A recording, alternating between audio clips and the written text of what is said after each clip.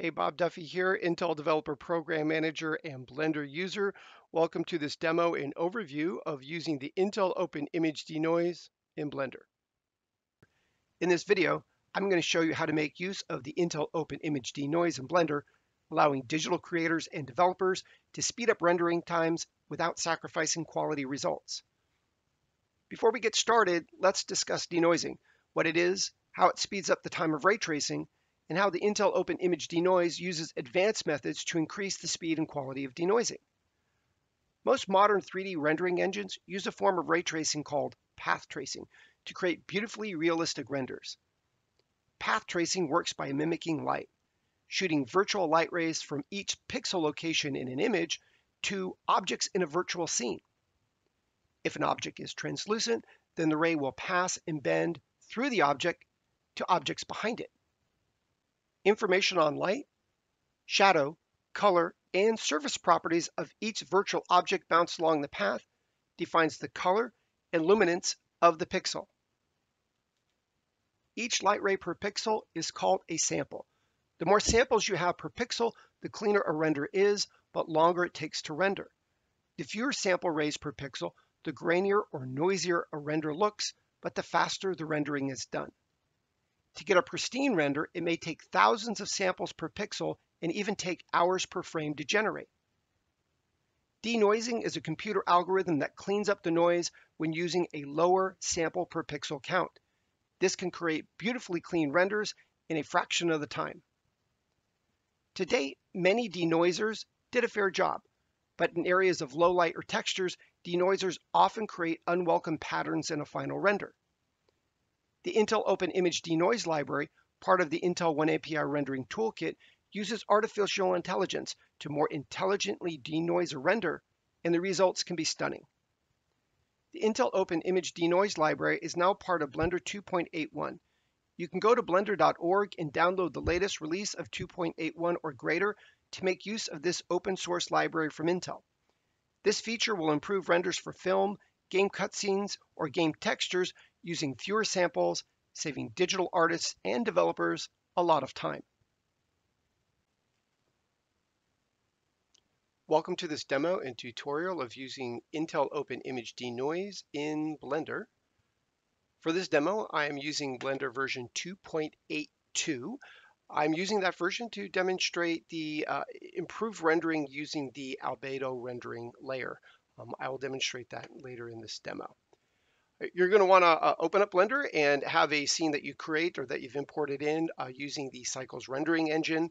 Um, I suggest that uh, a scene be used that has shadowed areas that isn't perfectly well lit. Um, that's going to give you a better idea of the noise um, because noisy areas uh, are, are, best shown in areas uh, of shadow or there's just not enough light. Uh, to demonstrate this on an actual render, I'm going to take my rendering samples all the way down to 32 samples.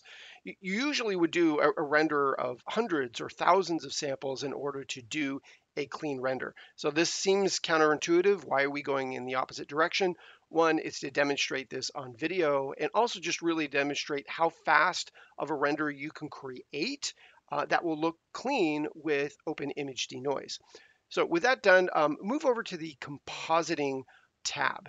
This is where the denoise happens. It doesn't happen in render, it happens after the render is done. Uh, to make use of it, uh, make sure that nodes is selected and you'll want to make sure that your render layer and your composite node are connected uh, by image. Then over in your properties panel, in your layer properties, find denoising data and turn that on. So make sure that that is checked you will see that you'll have more information available to your render layers. This is important information to do denoise. Then go to the Add Node, search for denoise, select it, and this is the Intel Open Image Denoise in node form. Um, to get this to work, it's as simple as connecting it. You connect the output of the image render to the image input, same with the denoising normal, and same with the albedo. Uh, these layers are used to improve performance and also to improve the quality of denoise.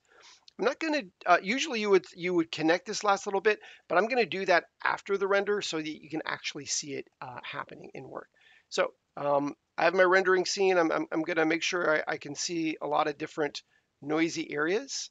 Uh, so areas of low light, like the back of this box here, where these caustics are, I expect those to render very noisy. So I'm going to go ahead and F12 to render out, and then um, switch back over to compositing where I can uh, view this. And um, this is completing its render. So this is exactly the noisy areas that we're, we're going to see cleaned up by the denoiser. Uh, this kind of stuff is going to get cleaned up. So that took 15 uh, seconds to complete. Um, it's a short render because we have low samples per pixel. Uh, so the last part to do is to go ahead and connect it. I'm going to make sure that you can see an area of noise as I connect it. So I will connect it here, let go, and there it is. That area of caustics is all cleaned up. And let's look around the image so you can see that area here where it was all noisy, all perfectly clean. And that's all you need to do. Um, that you just need to connect the nodes, make sure that denoising data is on and it's it's working. Um, as you do another render, um, this will work for you. So every frame that you render, or as you move your camera around and create another area of rendering, this will all work. I'll go ahead and render this frame just to show you that um, this is going to render noisy, but once the rendering is done, um, compositing will take effect uh, with the node and it all this noisy area will get cleaned up. And it's about done and there it is. So that's all cleaned. I also want to show you um, how well it works with the Albedo plugged in here. So I'm going to disconnect this and then focus in on this Intel logo here. So as we zoom in, you know, it, it, it's, it's a little bit muddy, uh, artifacty, pixelated. Um, let me reconnect the albedo. We'll look at the Intel logo and see what happens. There it is. It's much cleaner. It's much crisper. And you'll notice um, across area here is like the, the Intel box, that's super clean.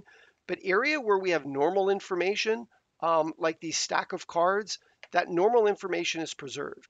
The clean lines of the Intel logo, all preserved. All the text area is well preserved.